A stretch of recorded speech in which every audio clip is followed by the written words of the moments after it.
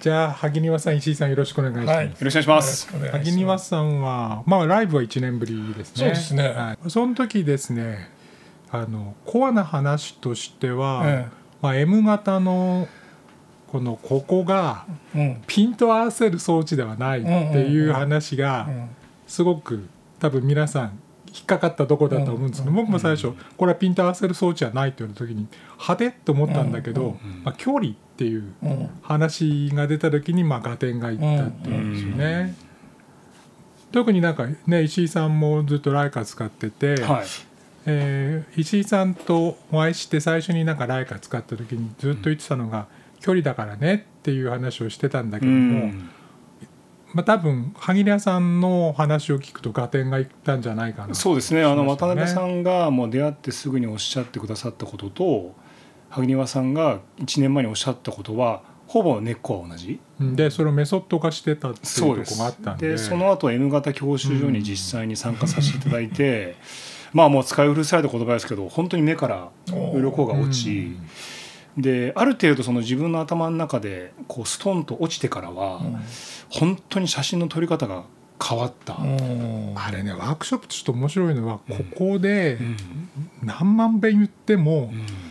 伝わらないところがうん。うん。実際にその場に行ってあのなんだろうな直接教えてもらうとうん。すっとね分かる時あるんだよね。教習所っていうのは本当に言い得て妙うん。でいくらその机上の空論で車の運転習っても運転はできないわけですよね。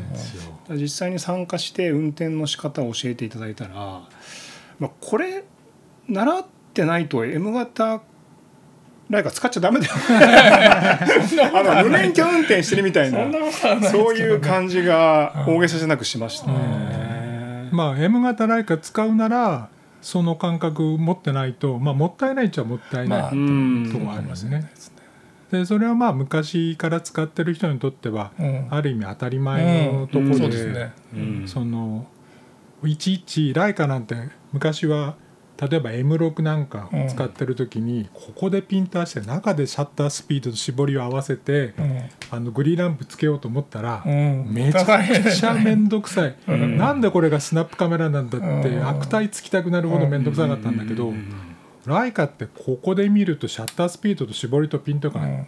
全部上から見えるってうん。これがライカなんで、うん。でもう絞りもシャッタースピードも自分で合わせてうん。ピントも自分で合わせたら持ち上げた瞬間にも撮れるっていう、うん。これがライカの持ち味だったわけですよね。もうほぼほぼじゃないな。あの使いますけどファインダーを覗かなくなりました、うん。うん。もうここでパッと見て、うん。かまもうこれで見て撮るみたいな、そうそうそう。それがもう劇的でしたね、うん。ちょっとさそのね今エジンバラにその今石井さん行ってあきて。そうこの間あの行ってきまして仕事半分プライベート半分で行ってきたんですけど、でそれでこれライカの何で撮ったの？これはね M10P とアポズミクロン 50mm だけです、はい。M10P だったんだね。そうです。M10P で。で P と10、あの M10 と M11 で色違うの、違いますね。あ違ううん違います。へえ、まあねロゴが同じという意味ではちょっと厳密にあれですけど、まあ吐き出される色は違いますね、ん。どっちがどっちって感じなんですか？M10P の方がニュートラルでうん。自然な感じ、うーん。M11 はとてもビビッドなこってりとした色が出るっていう感じですかね。でこれがアポズミクロンの50そうです。の M10P ですね、へこれはね途中で萩沼さんにかなり最初にえうん「エジンバラ来てます」って LINE をお送りしたら、うんこうしてみああしてみっていう いろんなアドバイスをいただい遠てで。で特にヨーロッパの街を撮る時は、うん。無限に気をつけない気をつけなと、のというと、つまり街で遠くに見えるものもうん、絶対無限じゃないからねと。あはいはだから気持ちちょいいちょい。戻しはいでノーファインダーで撮ってごらんはいはい。で絞った方がいいですかって言ったらもう即答で絞り関係ないからとその時塔を取りたければ開放でいいし風景取りたければ絞っていいよ。うん。っておっしゃっていただいて、でその通りにやったらまあもう取れる取れる。まあ、無限に円っていうことはありえないからね。そうですね。ヨーロッパの街並みはね。何かしらの対象物があるわけなんで、はい。M 型教習所で距離感を学んでうん。公園とかで練習してたので、うんうんそれをえ自主練してた自主練しました。あの本当にブートキャンプなんですよ。ああそうね。距離をそう距離を測ってその距離なんで、はいはいはい。だからそれを実践する場だったんですが、うん。まあこれなんかはうん。だからあの塔に無限でピント合わせちゃいけないんですね。はいはいちょい戻しである。ちょい戻しなんですね。で絞るかと思いきやこれは開放で撮っていて、うん。十分十分。その方がこうグッと見てみるよねみたいな。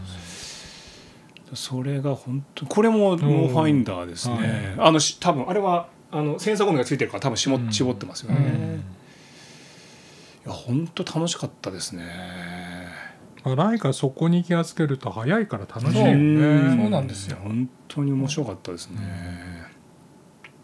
これファインダーの中で絵を作っちゃうんだよね普通の場合はね、うんうんうんでライカはそれを許さないところがあるから、うんうん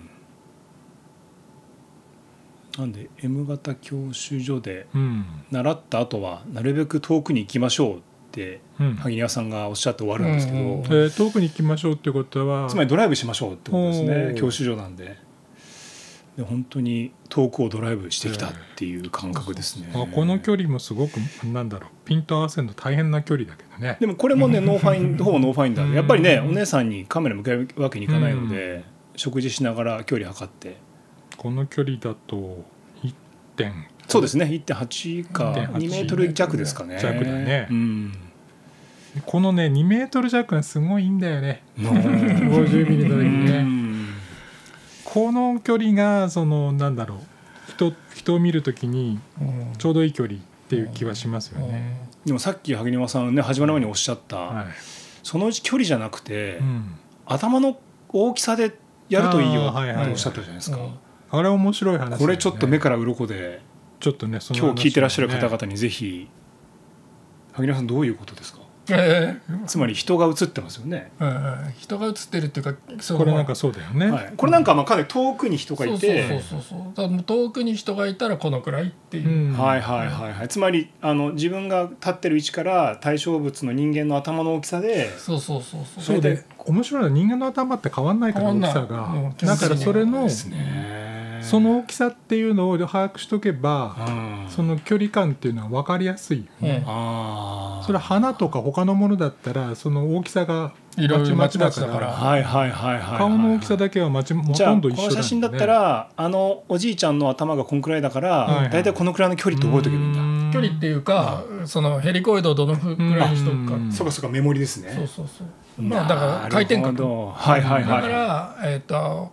最初のうちは1本のレンズでやった方がいいよっていうのは、うん。そのレンズの回転角で、うん。体が覚えるってことですそうね指が覚える、どの辺なのかなっていう、でこの距離と例えばこの距離って似てる距離。だからほぼ同じですよね。あそうそうそうここまで離れてるとね、うん。でもついついグリグリって回してみんなファインダーで合わせたくなりますけど、うん。実際には変わらないんだよ。ね、50ミリでこれだけピントが合うっていうことは、もうほぼ大体全部合っちゃうってことだもんね。そう。でそうそうそう。実際に M 型教習所メソッドでやってみると、ん。ある距離以降は、うん。ほぼ同じ。そう。なの。そうするとそう。ん。あのわざわざファインダーで一生懸命ピント合わせてたのがちょっとこうまあ無駄だったなっていうことですね。これがうん。一眼レフだと微妙なところのズレみたいなのは見えちゃうんだよね。そうそうあー一眼レフがだからピント合わせなきゃ見れないからよね。ボケてる絵を見てる、はいファインダーの中で。だからピント合わせなきゃいけないんだけど、うん。M 型はボケてる絵が見れるところがないわけじゃん、まあ、常にクリアに見えてるものの距離を測ってる、うん、距離を測ってるから、距離を測るのがくっついてるだけだから、うん。なるほど。これなんか無限大かな？これも無限ですね、まあ空の場合は無限でしたね、これもさっきの女性と同じくらい、同じぐらいですね、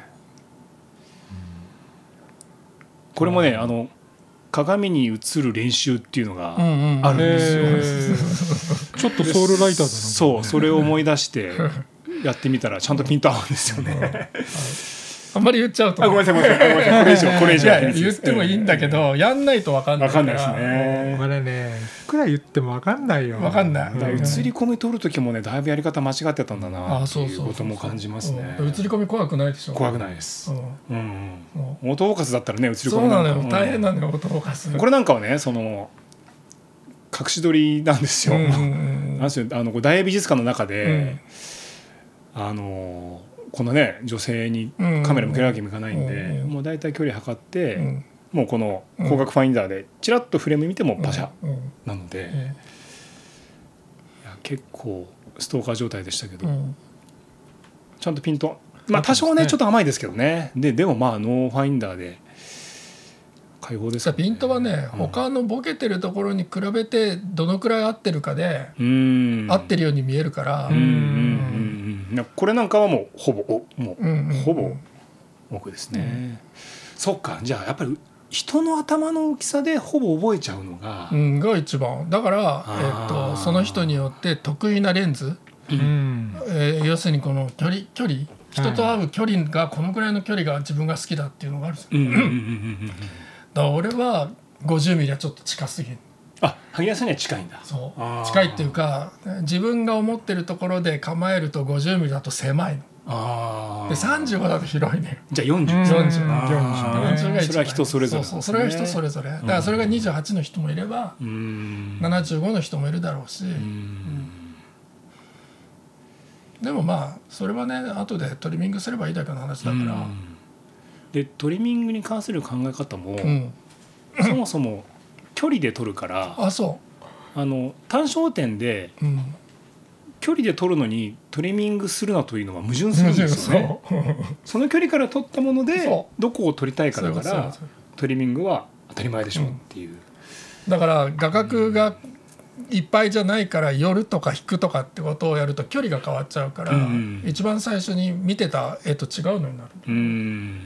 そこはもうそこは無視していいよっていう、いや渡辺さんにも初期にあのとにかく単焦点使って撮る時はうん。距離で撮るんだよと。うん。フレーミングとかズームとかでフレーム合わせることじゃないんだようんってずっとおっしゃってたんですけど、うんうん。で意識的にやっぱり動いて撮るようにしてたんですけど、うんこれがね、ん。なかなかわかん最初ねいくら言っても多分ね分かんないんでその詰めるっていうそのちょうどいい距離ここで撮りたいっていうイメージがん。最初の頃はなかなか分かんなくてうん画角を変更してフレームで決めちゃうんそうそううんうんう。んだからねいいとか悪いとかじゃないの、うんうんうん好きか嫌いかだから。そうですね。このこのこの位置が好きだったらもうそれ以上やっちゃダメなのうんうんうんそれ以上行ってもいけないし引いてもいけないし。うんだってそこが好きなんでしょ？あなたは。って言ったらそのまま取ればいい。そしたらますますピントの位置なんかをほぼ。ほぼもう決まっちゃってくる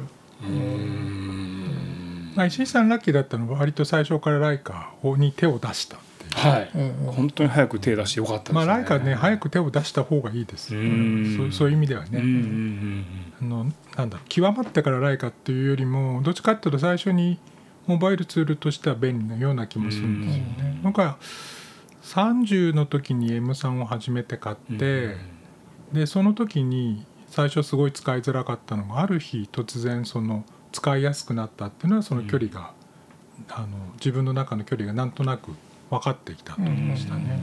なんか昔から使ってらっしゃる方には当たり前のことがうん。どんどん高機能化してるがゆえに、うん。